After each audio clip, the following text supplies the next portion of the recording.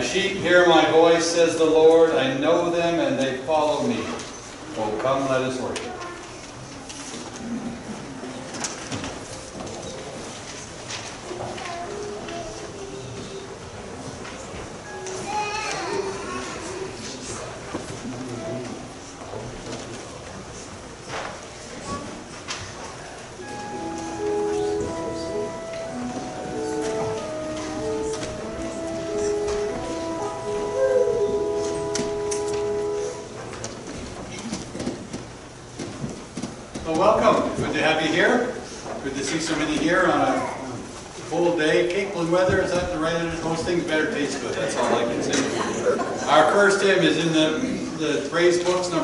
Sing singing new songs.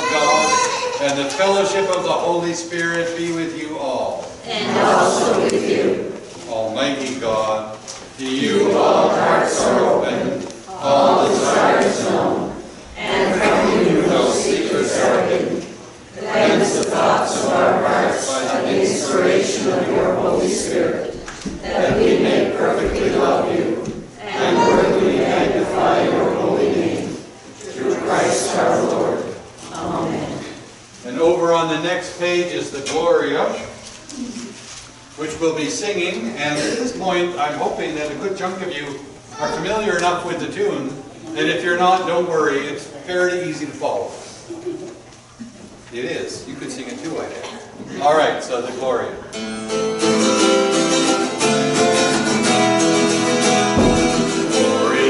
God in the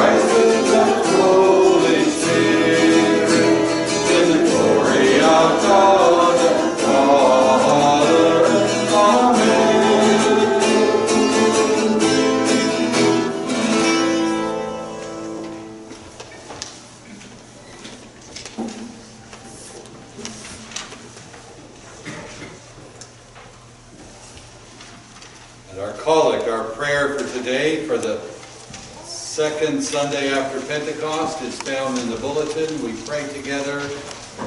O God, our defender, storms rage about us and cause us to be afraid. Rescue your people from despair. Deliver your sons and daughters from fear. And preserve us all unbelief. Through your Son, Jesus Christ our Lord, lives and reigns with you and the Holy Spirit, one God, now and forever. Amen. Please be seated for the first reading.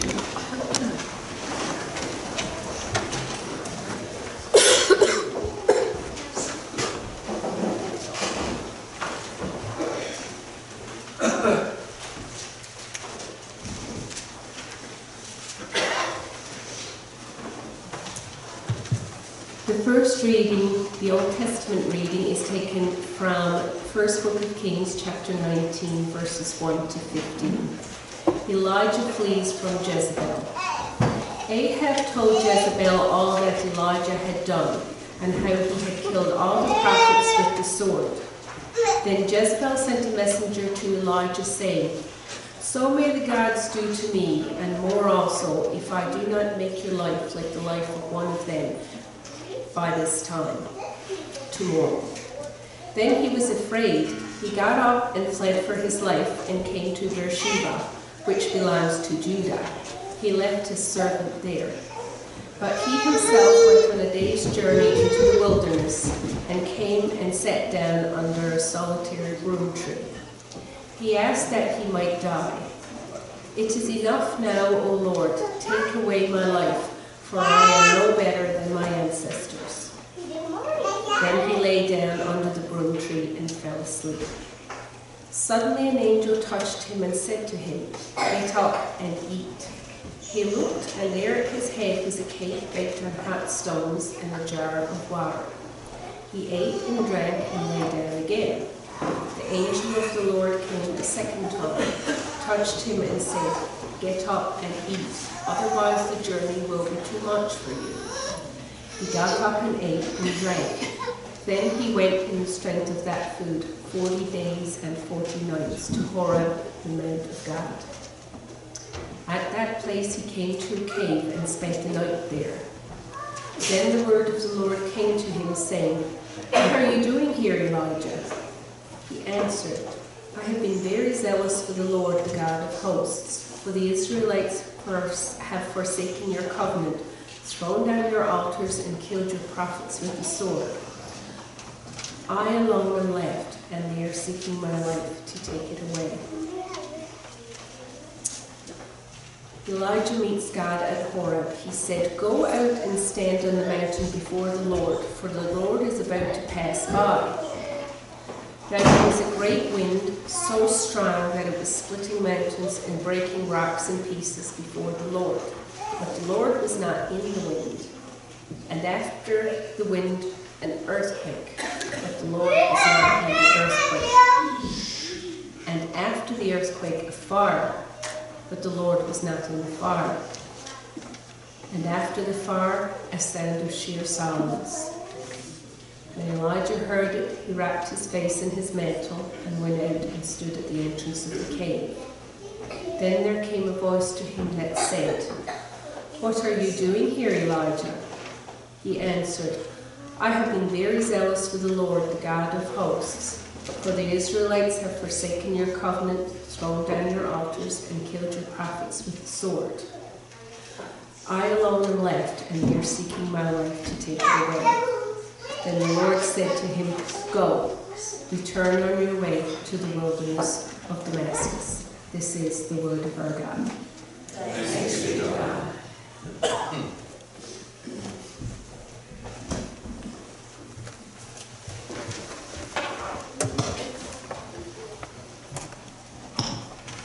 This morning we have two psalms appointed for our service Psalms 42 and 43, found on page 758 of your Book of Alternative Services.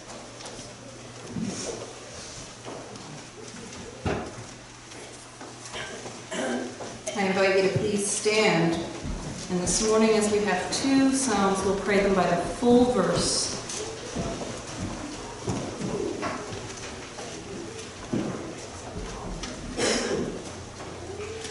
As the deer longs for the water brooks, so longs my soul for you, O God. My soul is athirst for God, a thirst for the living God. When shall I come to appear before the presence of God?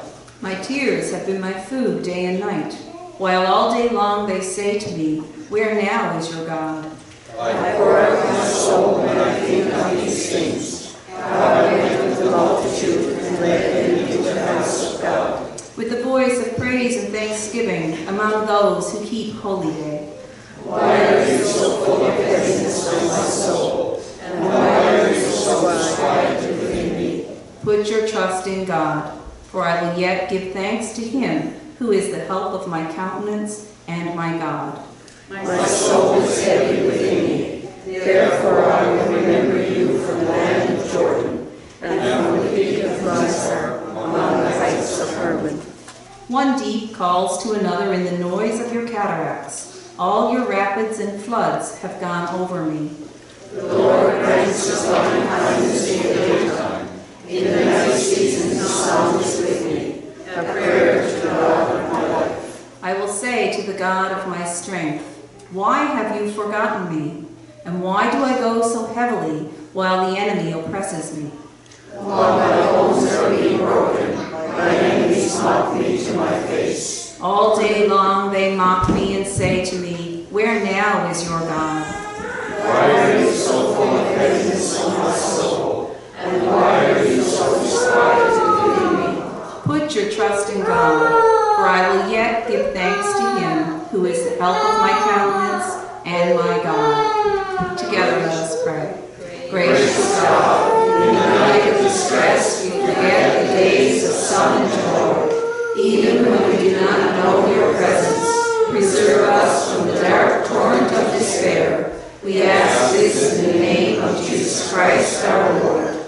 Amen. Give judgment for me, O God, and defend my cause against an ungodly people. Deliver me from the deceitful and the wicked. For you are the God of my strength. Why have you put me from you? And why do I go so heavily while the enemy oppresses me?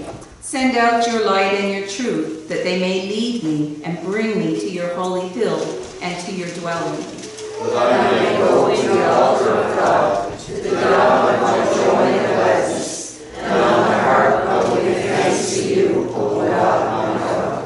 Why are you so full of heaviness, O my soul? And why are you so disquieted within me? Put your trust in God, for I will yet give thanks to him, who is the help of my countenance and my God. And together, God of of mercy, deliver those who are weighed down by fear and depression, and give them joy and gladness in your presence. We ask this in the name of Jesus Christ the Lord. Amen.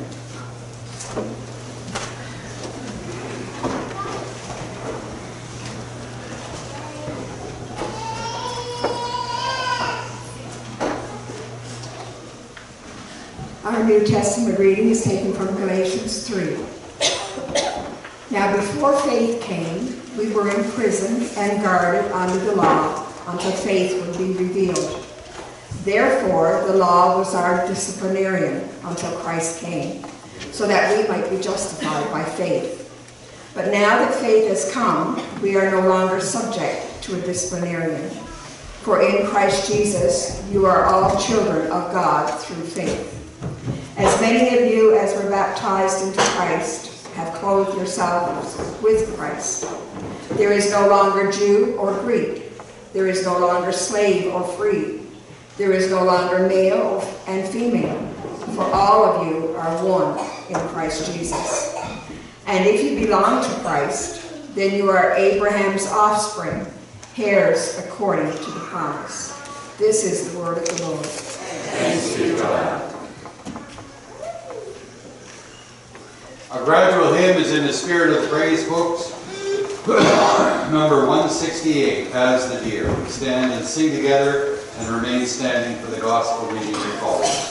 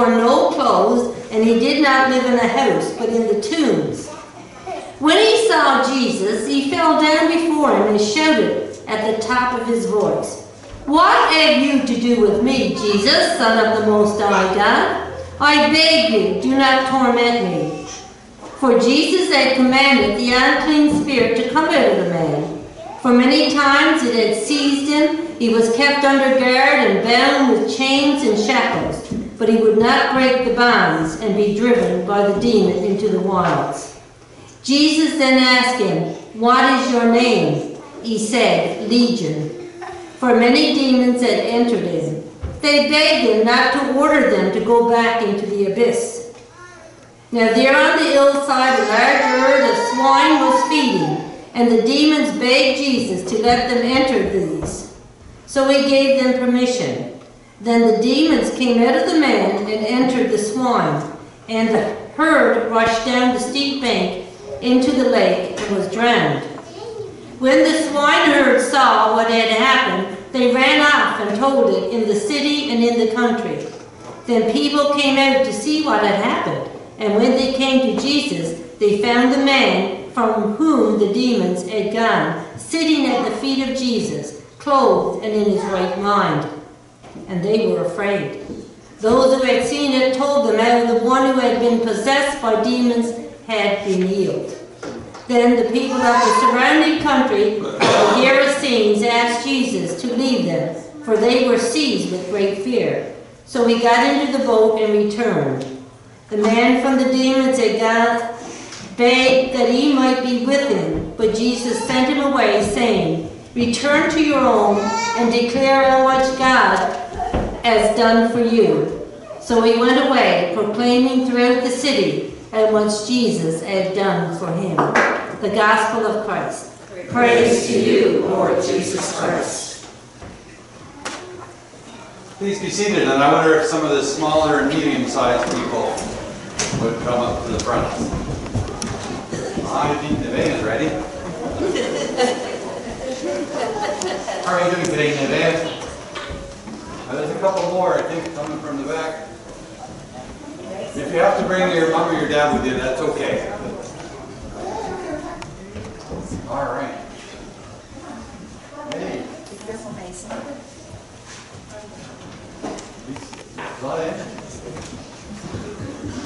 up. All right, this is a good crowd today. All right. So, all right.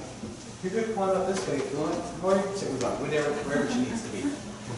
All right, so I wanted to ask, as I often do, you guys probably know this, I often start with a question. So today's question is, can you remember a time when you were scared?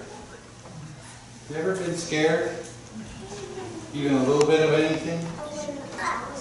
When the power went out, that was kind of scary. Because it's hard to get your phone to work. and your- Anything else, any other that?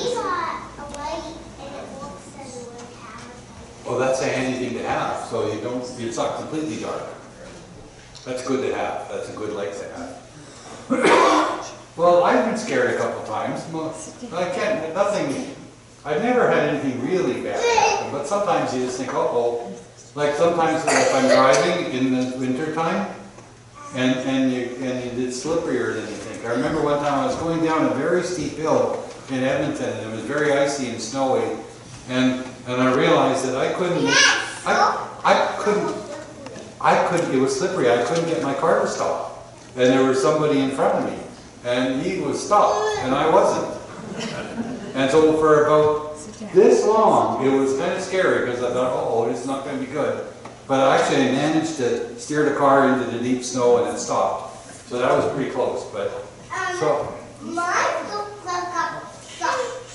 yeah? So, but sometimes we have, so in the readings that we read from the Bible today, we've got some, one of the guys, Elijah, he's the guy from the Old Testament. He was very scared. You know why he was very scared? Because there was a bad queen, a mean queen, and she was really, really angry with him. And you know what the mean queen said to the army? You guys go out and find them and kill them. That's a pretty horrible thing, isn't it? Can you imagine how scared you'd be if you had a whole army coming after you? That's how scared he was. So he was pretty scary with a whole army after you if you're only one person. Don't you think? So he ran away into the wilderness. He ran. He ran away. Your socks got socks? I don't I, I don't think I understood that. Anyway, he ran away. I don't know if he had socks on, but, but he ran away to the mountain, and there was all kinds of noise and a big. You ever been out in a big storm when it's all crashing and the wind, and there's thunder and lightning and all that stuff? That's what was happening. So not only did the poor guy have have the Queen's army chasing him, he was in the middle of a big storm up on a mountain. That's very bad, right? And you know what happened?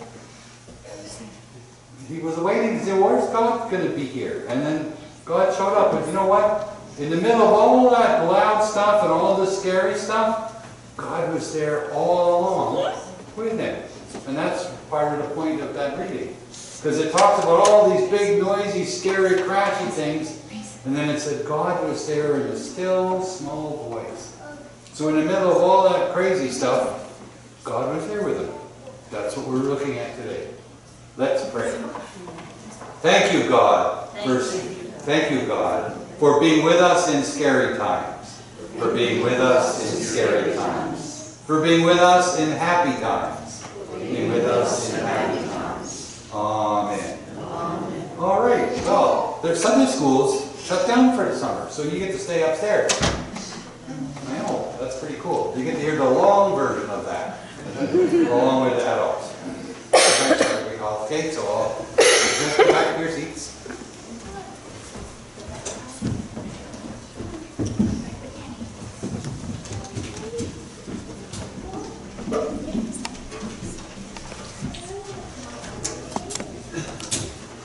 Speak the name of God the Father, the Son, and the Holy Spirit. Amen. Elijah, as you now know, was running away. He was running away from the reality of his life. He was scared, and he had every reason to be. Elijah was zealous for God, and he made some people mad, really mad. And they had an army, and they were ticked, I guess would be the pleasant way to describe that. Queen Jezebel. There is a contest, and you can go back to chapter or 2 and read it. It's quite exciting, really. On the top of Mount Carmel between God and the gods of the king and queen, the, the Baals, the other gods. And God demonstrated that the other gods were false, to put it mildly. They made a pile of wood, and then they called on those other gods to light the, the, the to light it on fire. And nothing happened. And then Elijah teased them, and he said, Oh, where are your gods? Maybe they went out to the bathroom. I'm not making that up, it's in the Bible. And then he took his pile of wood and he doused it with water. And then he prayed, and, and God poured down fire from heaven, and, and it burned. And after that, of course, Elijah and the people executed the priests of the false gods. There were some hard edges back in those days.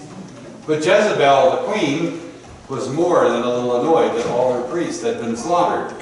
So she vowed that she would do the same thing to Elijah that he had done to her priests. So she would hunt him down and see him killed as well.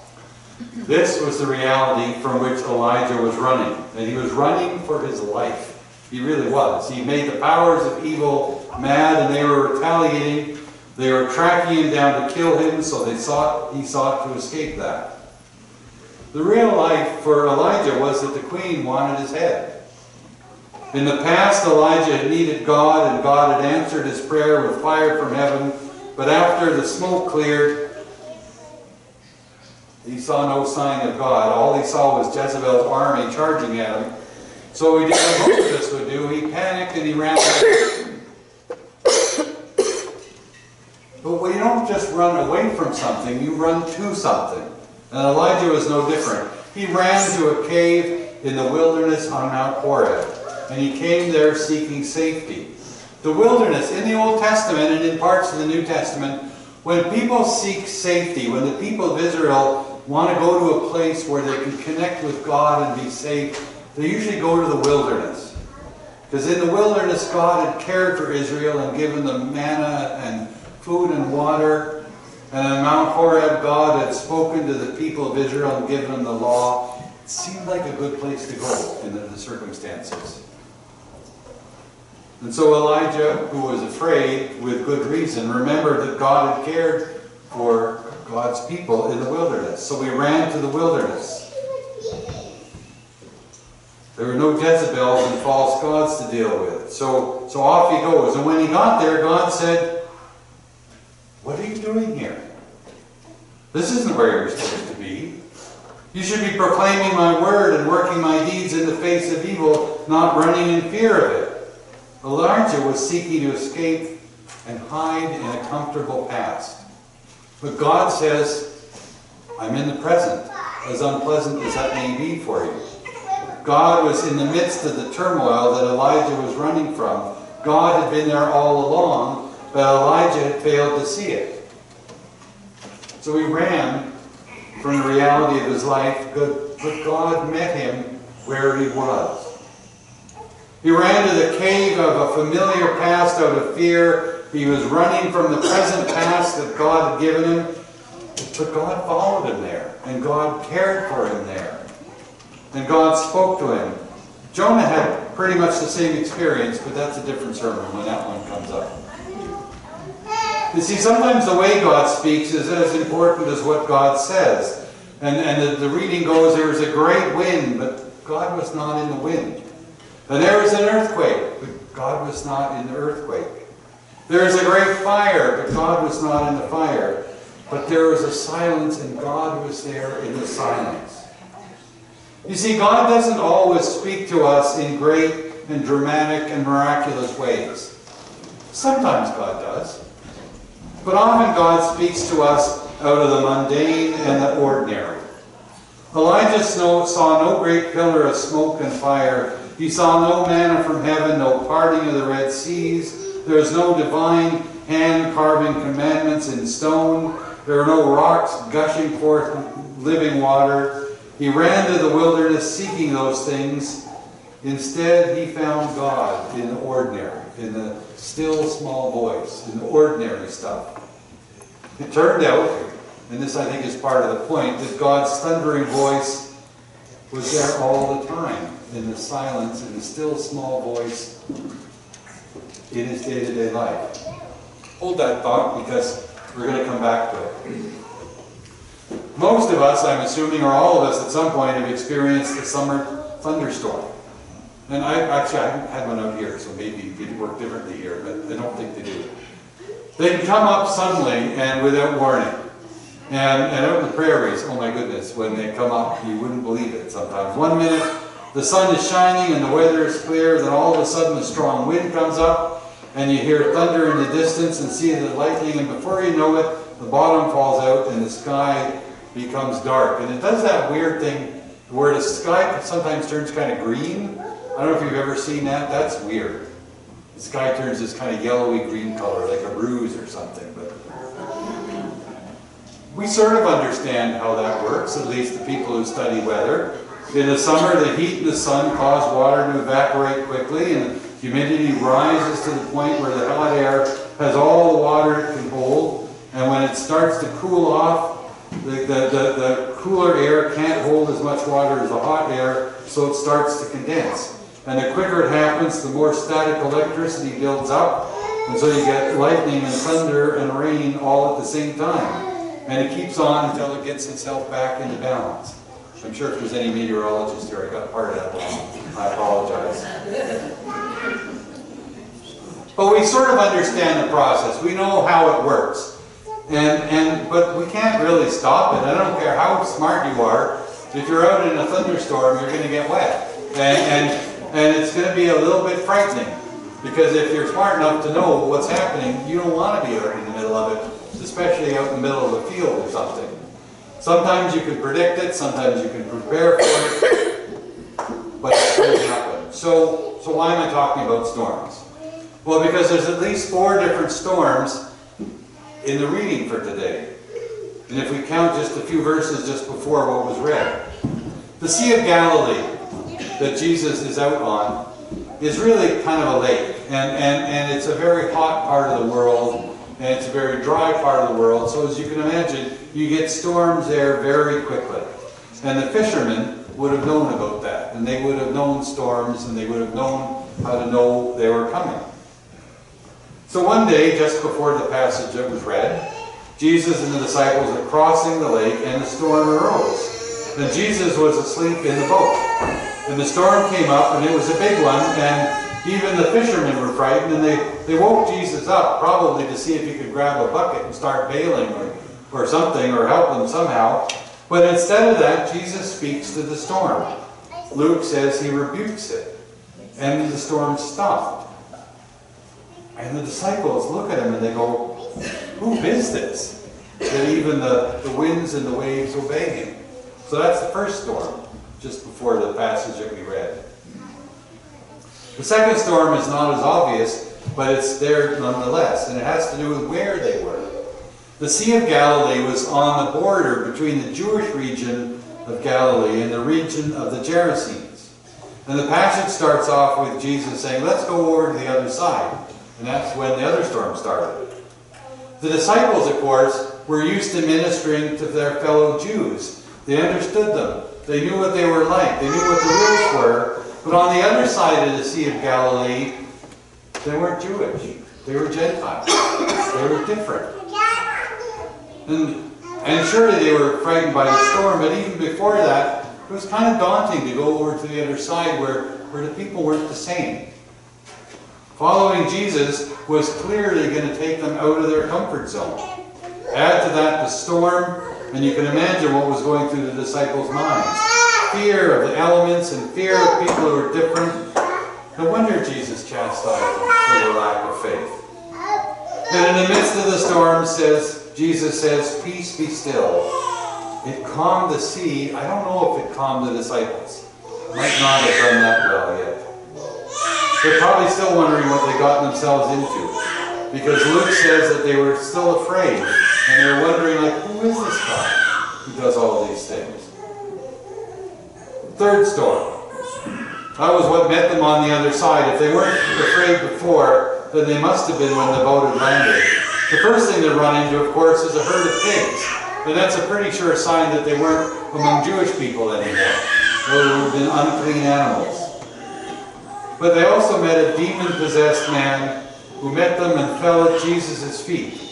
Now we can try to analyze what sort of mental illness he had, but clearly there was something very wrong with this man, which resulted in living in the cemetery among the graves, and, and he came running up to Jesus, and the disciples had been saying, the disciples had been wondering who Jesus was after he calmed the storm, but the demon-possessed man knew exactly who he was. It's an interesting point here. This demon-possessed, this crazy person, if you will, comes up to Jesus and calls him the Son of the Most High God. This man, it's hard to imagine the suffering that he'd been through, but he sees Jesus and he knows who he's dealing with. And just as Jesus had rebuked the storm, he rebuked the demons, he cast them into the pigs, and the pigs ran down the bank and were drowned in the sea, and the man was fine. Somebody said that's the first thing, that's how you get deviled ham. But, but the storm was over for this man. That great storm that had afflicted him for years was over, and he was fine, and he could return home and, and rebuild his life. And that takes us to the fourth storm. The first was the physical one. The second was the emotional storm in the disciples. The third was the psychological storm in this man. The fourth one was really a social storm because the people of that region had tried to control this man with ropes and chains and they saw what had happened. And the swine herders had run to the village and told the people. And the people of the village came and they saw the man clothed and in his right mind. And they were frightened. If he, they had not been, they had not been able to control this man. They had not been able to do anything to help him. And here this guy comes across the, the lake in a boat from the other side, and he calms him and heals him with just his voice. And they were every bit as frightened as the disciples had been when Jesus calmed the storm on the sea. So out of their fear, they told Jesus to go away.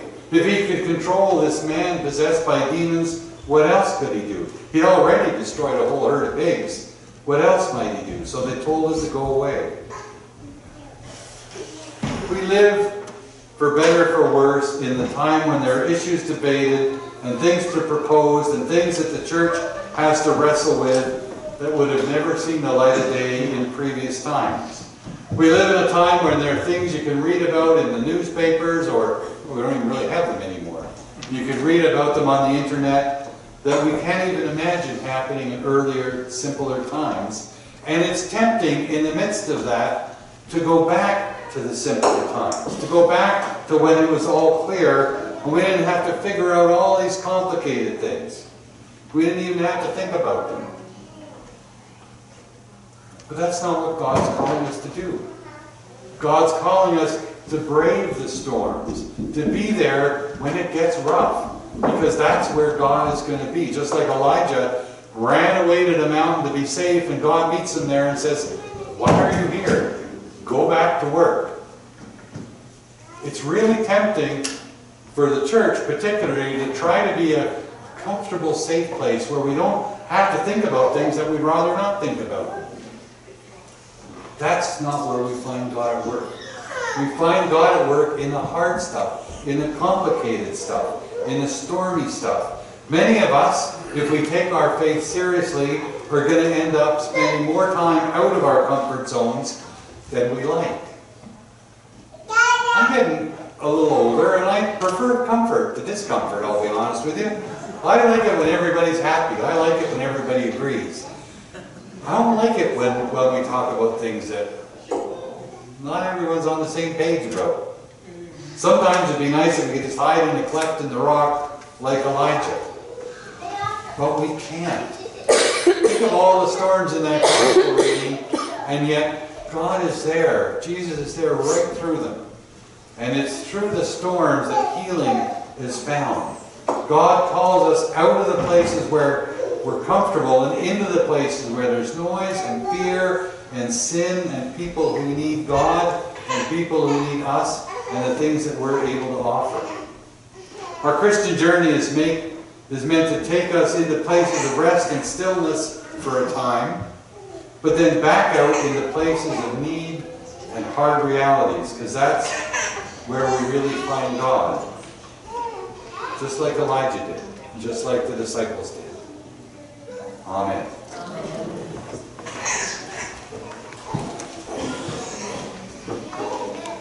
just wanted to, to, as I do from time to time, give a word of reassurance to parents with, with kids. They are, you have no idea how wonderful it is to have them here. And, and when they make a little bit of noise, trust me, there are people here who love that. You might get the odd grump, that's okay, don't worry about the grumps. But, but, but, but it is just so, because when they go squawk, you know what, there's people here who have grandchildren in other parts of the country or other parts of the world that they miss, me for instance, it's wonderful to see them. So we're really glad you're here.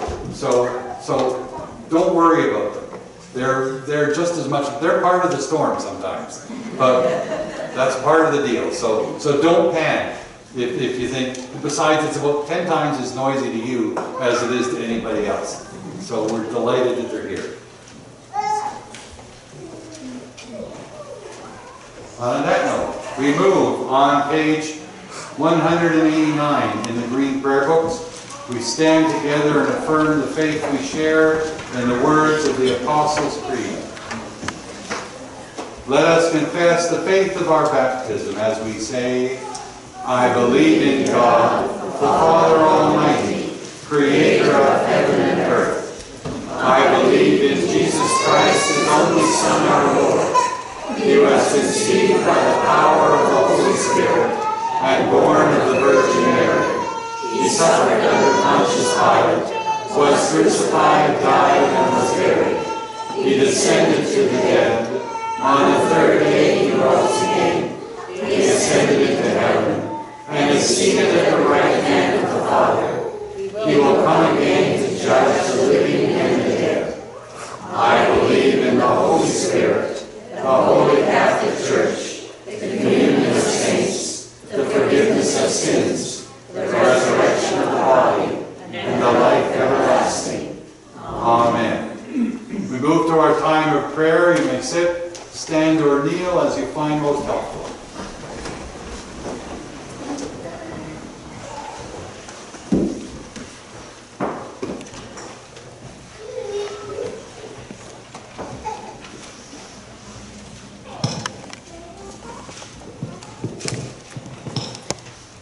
For our prayers this morning, I invite you to join me on page 126 of your service book. We'll use litany number 18.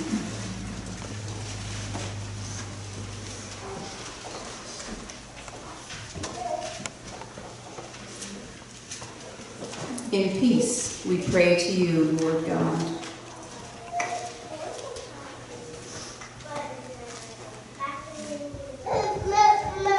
For all people in their daily life and work, For our families, friends, and neighbors, for this community and the surrounding communities, for our province, our country, and the world, for all who work for justice, freedom, and peace. for the just and proper use of your creation, For the victims of hunger, fear, injustice, and oppression. This morning, we especially bring before God the needs of Randy, Janice, Eric, Ian, Gord, Mary, Selwyn, Wayne, Peter, Justin, Camille, Stacy, Susie, Debbie, and Dinah. And for all who are in danger, sorrow, or any kind of trouble.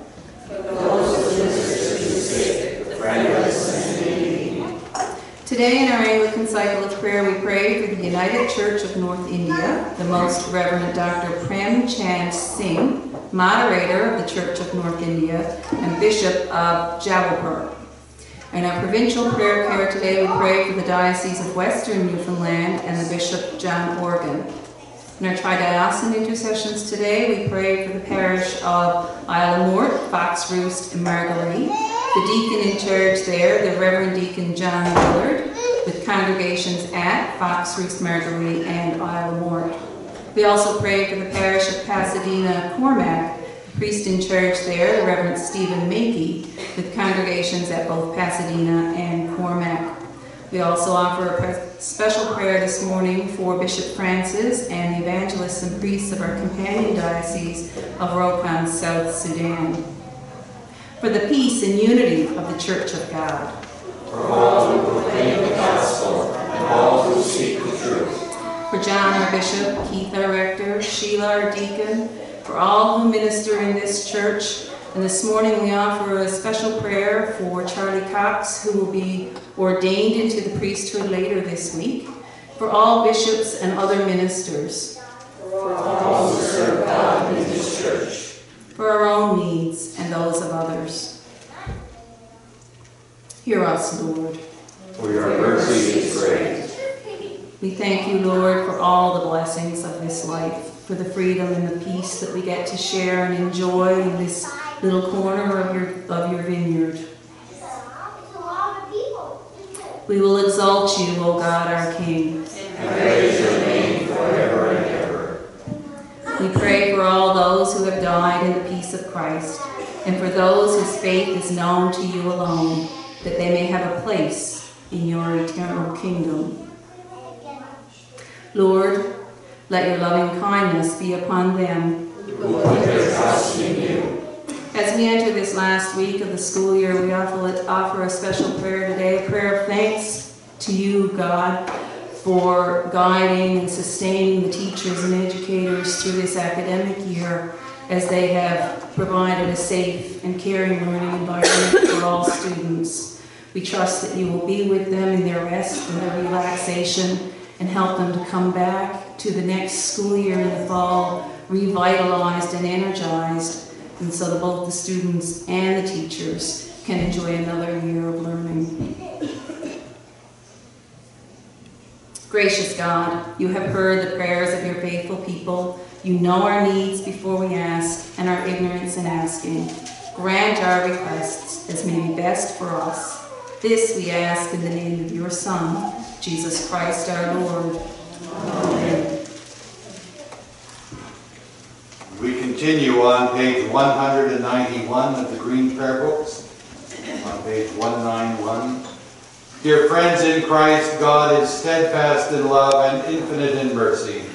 God welcomes sinners and invites them to this table. Let us confess our sins, confident in God's forgiveness. Most merciful God, we confess that we have sinned against you in thought, word, and deed, by what we have done and by what we have left undone. We have not loved you with our whole heart. We have not loved our neighbors as ourselves. We are truly sorry and we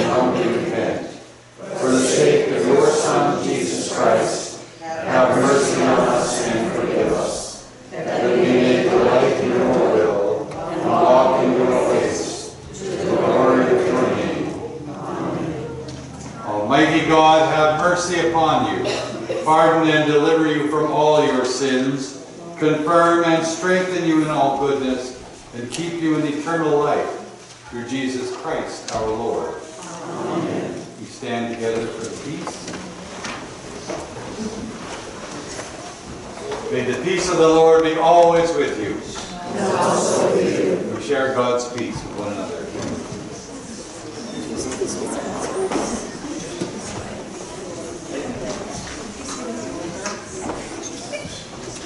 I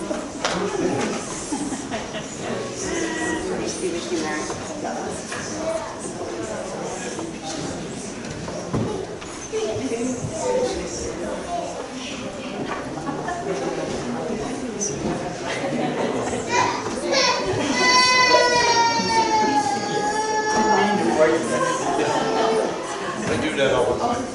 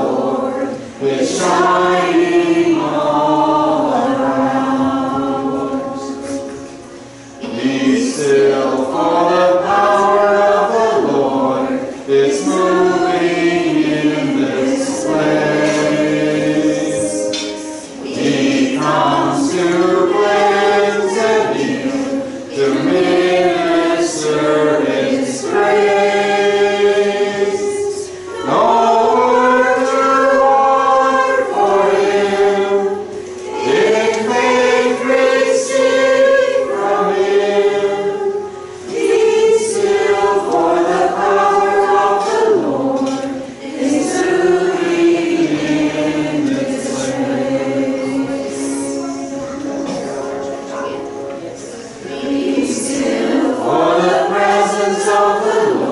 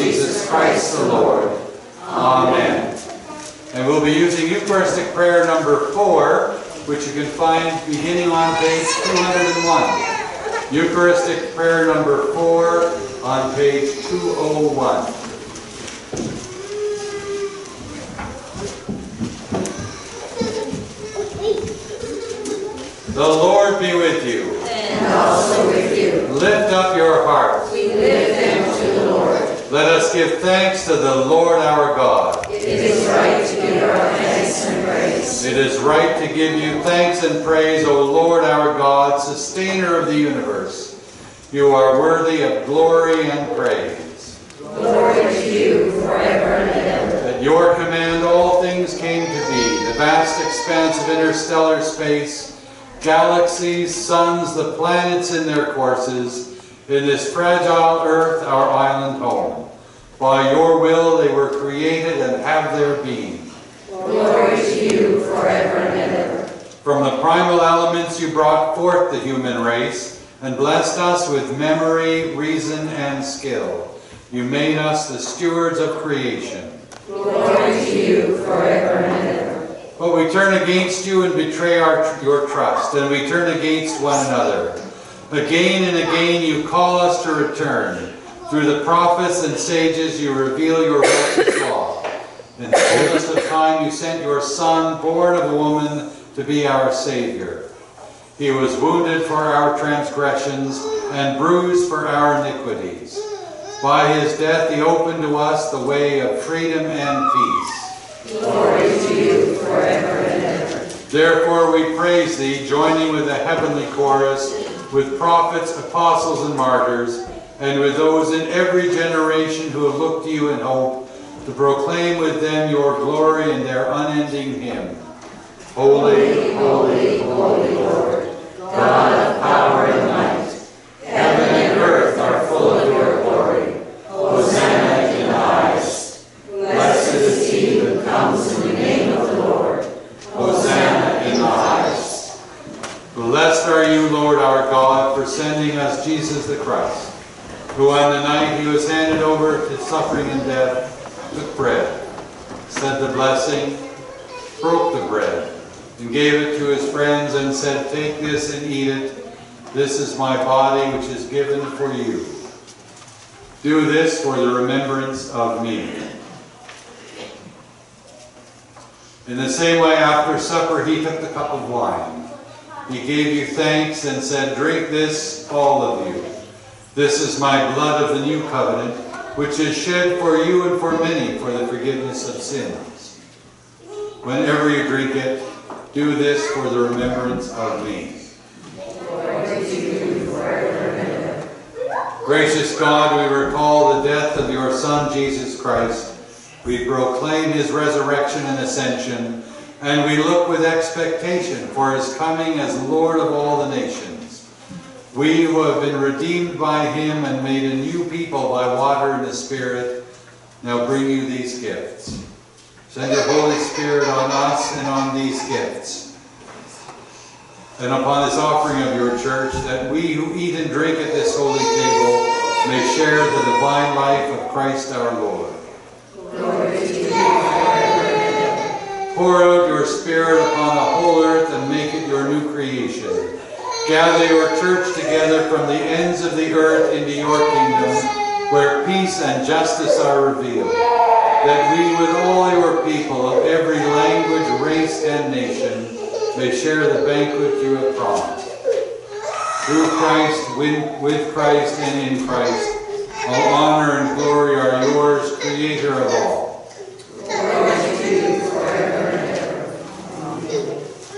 And as our Savior Christ has taught us, we are bold to sing together, Our Father, who art in heaven, hallowed be thy name. Thy kingdom come, thy will be done on earth as it is in heaven. Give us this day our daily bread, and forgive us our trespasses, as we forgive those who trespass against us. And lead us not into temptation, but deliver us from evil. For thine is the kingdom, the power, and glory, forever and ever. And we use the first set of sentences on page 212. I am the bread of life, says the Lord. Whoever comes to me will never be hungry. Whoever believes in me will never thirst.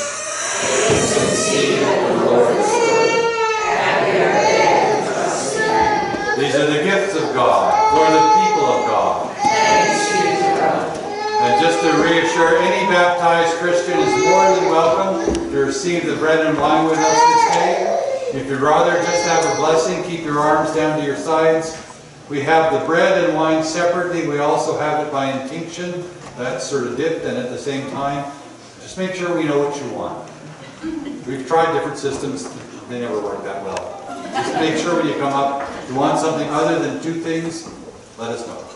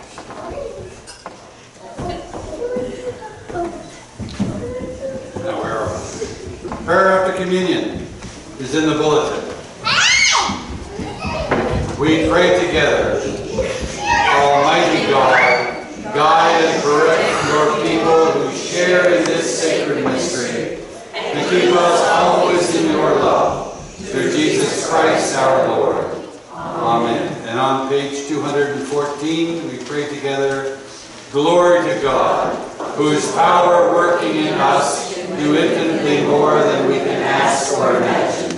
Glory to God from generation to generation, in the church and in Christ Jesus, forever and ever. Amen. Please be seated for a couple of announcements. One of the ways you can tell that we're moving into our little summer part of the schedule is there aren't as many announcements. So we get to enjoy the summer a little bit. Well, no, we always enjoy things, but. So the, at the back, you'll see a list, um, sign up list for Pope's Harbor. Now, uh, we're looking at Saturday, July 13th, with a backup date of Saturday, July 20th. If 13th ends up being too rainy or stormy or windy or whatever it is that it ends up being, because I'm not sure I trust myself to make the storm calm. There's two lists. One is, so Pope's Harbor, many of you will know, it's one of the, it's out past Burgoyne's Cove, out that way, out that direction. No, it isn't, it's that way. You drive that way, Anyway, good thing I'm not in charge of that part. In any case, it's a community that, that, that was resettled, and, and Alan would know, because he has a cabin there. And that, that, but the number of people have cabins there, there's a church there that's been rebuilt over the years. And so we're gonna have a picnic and an outing and a church service there, and that's the plan. So you can't drive there, there's no road. And you could swim, but it's a long way. So there's two lists. There's a list of people who would like to go but don't have a boat handy. And, and so we have those people listed. And then we have, hopefully, nobody's put their name yet, but hopefully get some names on the other list, which is the people who have boats and wouldn't mind and have room for folks. Except nobody has a boat, we're not going. But, but we'll see what happens. But, but this is kind of an experiment. Um, and I recognize that, that it, we're sort of planning on having a picnic around lunchtime. And, and so the goal is to be there somewhere around noon. We haven't really, we're not planning to work it out in great detail. But there'll be a picnic, there'll be some time to explore a little bit, some time to relax, and a church service as well. So it should be a really good day. Um, some of the boats may be leaving from Clarenville, and they'll have to leave earlier because it's quite a ways around for those who can't go under the bridge. Um, and some people may be leaving from Petley, some people may be leaving from Burgoyne's Cove. Someone's trying to track, someone's got a line on a long liner to leave from, from Burgoyne's Cove, which I think is a hoot to go load up a bunch of people on a long liner and chuck them down the coast. So we'll see how that goes. I, I think if Charlotte wants something to happen, I think Charlotte will get it to happen. Those of you who know Charlotte will know what I'm talking about. And there may even be folks leaving from down on the arm, so. So there, the departure times and, and where from may vary. But if you're interested, put your name up there. If you have a boat and a couple spare seats in it, put your name there. We'll sort it out and do the best we can to get as many people there as possible. So that's the sign-up list at the back, and I think I'm really looking forward to it. The only other couple of things are that the, uh, the kitchen cleanup is on hold again because a number of the folks who are part of the kitchen cleanup aren't available tomorrow. So stay tuned for the, I know many of you are just waiting for the kitchen cleanup tomorrow. You're gonna have to wait a little bit longer. And many of you will know, will have known Charlie Cox, young Charlie, I think as he's often described. He spent some of his time here as a theological student and a very nice young man. He's been ordained, actually he's a deacon, I think, uh, on the 26th, whatever day that is. Wednesday? Wednesday. It's 7 o'clock at the cathedral in Gander. So if you met Charlie, or even if you just feel like a trip to Gander, uh, that's at 7 o'clock Wednesday evening in Gander. There's another guy, but I can't, didn't write his name down. feel kind of badly about that. And the other guy. But uh, let me know, I have one or two spare seats in my car, and if you feel like tagging along, we can do that. Let me know. Uh, other than that, I think it's the stuff in the bulletin. Did I forget anything else? All right. I think that's it. So we'll stand for the blessing and then move to our final hymn. May the peace of God, which passes all understanding, keep your hearts and minds in the knowledge and love of God and of His Son, Jesus Christ our Lord. And the blessing of God Almighty, the Father, the Son, and the Holy Spirit be amongst you and remain with you this day and always. Amen. Our final hymn is out of the praise books, number 143, Rock of Ages.